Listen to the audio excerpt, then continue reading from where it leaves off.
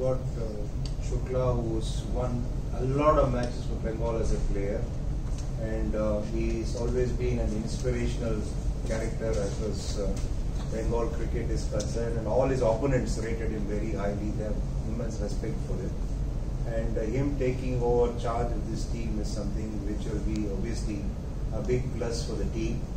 And regarding our relationship, uh, it's always been good.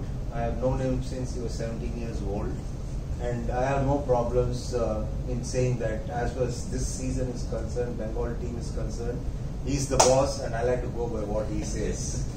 So that's the kind of relationship we have. We know we respect each other's uh, portfolio, and we also understand that it's a team game, and you couldn't have found a better team man than LR in his days. Yeah, uh, taking this question forward, what is the difference when you coached the Bengal team now? A lot of changes have come in because uh, the formats were different then, and then uh, or in the last 10 years, if you take the last time was years ago, 9, 10 years ago, uh, a lot of white ball cricket is being played. So, which means uh, the challenge for the players is to adapt quickly from one format to another. It's not going to be easy.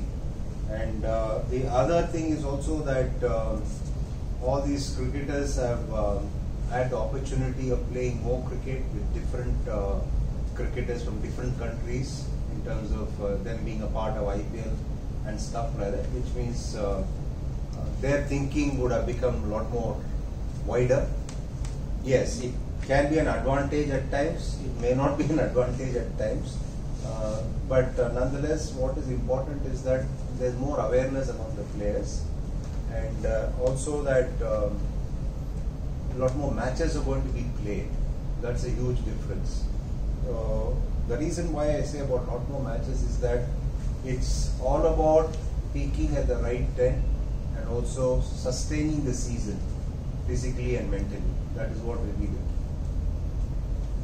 What are the